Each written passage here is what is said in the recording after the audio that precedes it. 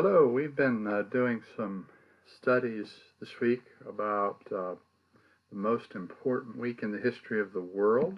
Um, a lot of people call this Holy Week, but um, I, I, like to call it the most important week in the history of the world. Um, and the Gospels focus on this week. In fact, there's more material in the four Gospels about the last week of Jesus' life than than everything else. Uh, scholars have called um, the Gospels have described them as as um, stories of um, the cross with long introductions, uh, because so much focus is on that last week started uh, the video with a picture in my study Bible of the temple area during Jesus' day. And hopefully you can see what a gigantic area it was. And so much of the week is focused around that area. Um, I had planned on on um, putting this video up uh, last evening and didn't get to it. Uh, but we're going to talk in this briefer video about the events of Monday of this most important week and uh, then uh, later today post a longer video to talk about the events of Tuesday uh, which we have a lot more text about in the Gospels what goes on on Tuesday. But I thought uh, since it's been a couple of days um, very quickly we would review where we've been so far. We started out on the previous Friday and Saturday, the previous weekend, um, where Jesus came toward Jerusalem. He arrived in Bethany, where he had friends, where most evenings of this week he stays the night in Bethany. He leaves Jerusalem after long days in the city and then stays with Mary and Martha and Lazarus in Bethany. Um, we, we noticed, uh, and all this is from John chapter 12, uh, the story where Mary anoints Jesus and um, have the little controversy with Judas, who's upset that such expensive ointment has been wasted in such a way. And we find out uh, that he's not really concerned about money for the poor, but uh, he was a thief. And um, was jealous over that, that money that could have been in the treasury that he controlled. And um, also saw how crowds are building to see Jesus there in John chapter 12. All that happened six days, John tells us, before the Passover. Then we get to the next day, Sunday, and uh, on Sunday, Jesus enters Jerusalem. A lot of times that's called the triumphal entry. You can read about that story in all four of the Gospels. It's one of the events that all four Gospel writers, Matthew, Mark, Luke, and John, all comment on and describe. And then we also noticed from John chapter 12 something that happened on Sunday uh, where there was this group of Gentiles who asked to see Jesus. And then Jesus said some things um, that that his disciples and if the Gentiles were there, uh, the Gentiles didn't likely understand at the time. We talked a little bit about that Sunday evening. That that's recorded just in John chapter 12. Uh, we noted after Jesus rode into the city on a donkey, he uh, went up to the temple, he looked around, and then he went back to Bethany for uh, um, Sunday night into Monday. Um, and then that, that gets us to the events of Monday. Um, Matthew and Mark um, both tell the story of how, as Jesus is coming into the city with his disciples uh, on the way to the temple, that he encounters a fig tree. This fig tree appeared to be a normal fig tree, but upon further closer inspection, it was discovered that it had no fruit on it. There were no figs. Jesus then does a strange thing. He curses the fig tree. He says, um, May no fruit ever come from you again. This is an enacted parable, we might say.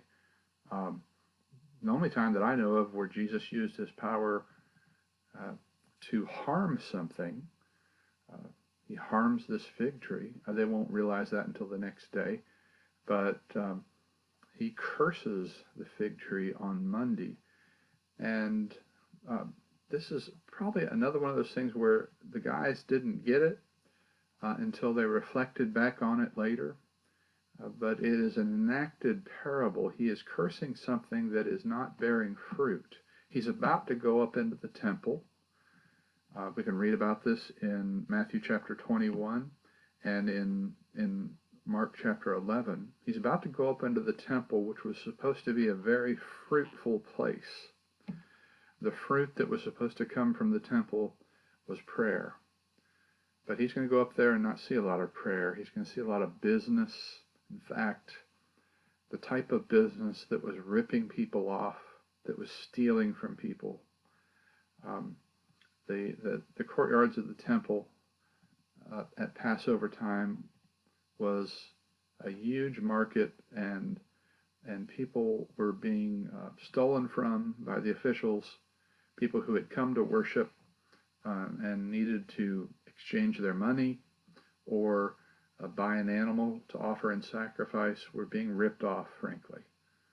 And, and Jesus does not see it as a place of prayer. It's not bearing the fruit it's supposed to bear, you see. And so Jesus, by cursing the fig tree, um, illustrates what he's going to see up in the temple. Um, the fig tree had no figs, and the temple had no prayer. And Jesus uh, condemns both. In fact, Jesus is going to do more than condemn what's going on in the temple. He's going to drive the money changers out, forming a whip and, chasing them out. He cleanses or clears the temple.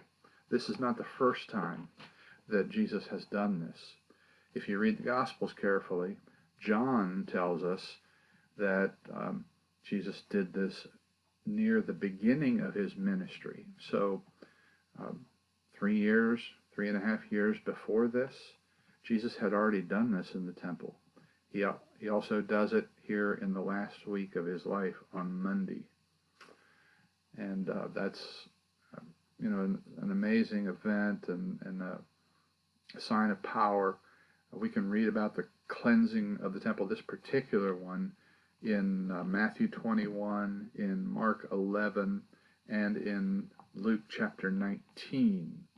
Now, Mark is the one who clues us into when this happened, that it happened on Monday of the last week. Uh, just to make a little comment on this, uh, Matthew almost, as you read his account, it, he almost makes it sound like this, this happened on um, Sunday.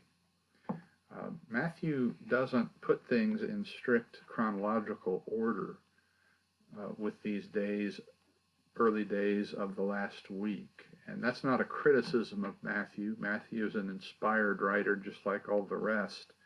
But frankly, the ancient writers uh, weren't always concerned about strict chronological order. They had other purposes. The Spirit through them had other purposes in the way they arranged their material. So if you're not careful when you read Matthew, you might see think you see a contradiction with Mark. There really is no contradiction. Mark is giving us the good chronological order that this happened on Monday. Matthew is is aiming at another purpose. They both tell the same story, uh, just one is a little more specific than the other. Then if you go over and read Luke's account in chapter 19, he's the briefest of the three, and he's not real specific about when it happened. But Mark uh, is pretty clear in chapter 11 that this happens on Monday of the last week. And uh, John does not tell this particular story. Remember, he again uh, puts the cleansing of the temple at the beginning of Jesus' ministry. Uh, some people suggest that um, that Mark is, or that John is telling the exact same story, just way out of order. I don't think that's correct. I, I believe Jesus actually did this twice. John tells us about the one uh, at the beginning of the, the ministry of Jesus, and the other three tell us the one that happens in this last week. Well, uh, Mark also, in chapter 11, verse 19, gives us the little note that at the end of the day, this day that he spent in Jerusalem, he goes back to Bethany, returns to Bethany with the twelve. And so that's again the pattern that we see at least in the first half of this week. And uh, that's what we have in the in the text about the events of Monday. Um, some really interesting and um, powerful things that, that take place on Monday of the last week. Again, the next uh, broadcast that we make a little bit later today will concern the events of Tuesday. Now, on Tuesday, uh, there's a lot more material. It'll be interesting to see um, what I can express in a, in a, video broadcast of reasonable length. Uh, but we have a lot of text uh, about the events of Tuesday. Tuesday is full of controversy and debate and questions, and uh, we'll at least review that material in in the next broadcast. But I hope you're enjoying this, and, and hope that made some sense. Um, uh, what we're talking about on on the events of Monday. Uh, they were certainly important. Hope you're having a good day, and we will see you a bit later. God bless.